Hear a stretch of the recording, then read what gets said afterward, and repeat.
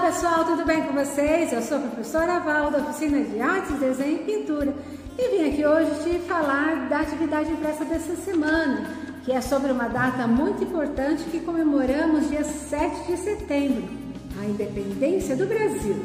Desde que os portugueses chegaram ao Brasil no ano de 1500, o Brasil passou a ser colônia de Portugal. Isso quer dizer que os governantes de Portugal podiam ocupar e explorar as terras brasileiras, e assim muitos anos se passaram.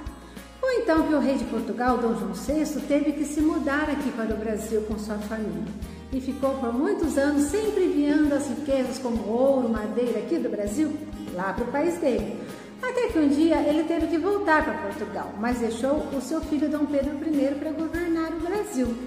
Esse príncipe gostava muito do Brasil e as pessoas do Brasil gostavam muito dele porque ele era muito diferente do seu pai. Portugal passou então a ter conflitos com os governantes aqui do Brasil, porque queriam que o Brasil continuasse sempre dependendo dele. Mas Dom Pedro I não achava isso certo.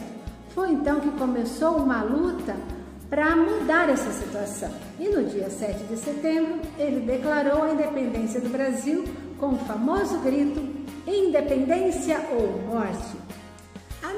Atividade traz aqui então um desenho com o mapa do Brasil para você colorir bem bonito, tá? E traz também uma cruzadinha para você completar usando as palavras que completam as frases que estão aqui embaixo. Então, por exemplo, olha, aqui na letra B, que seria aqui nessa linha, vem falando assim, ó. Dom Pedro I estava às margens do riacho Ipiranga, então você vai completar aqui a palavra Ipiranga no espaço que está faltando, tá bem? E vai continuar seguindo até a última aqui, tá bem? Sempre completando a frase que está aqui embaixo.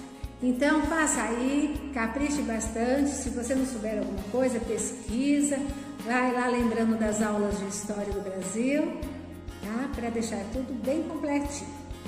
Um beijo e até a próxima. Tchau, tchau!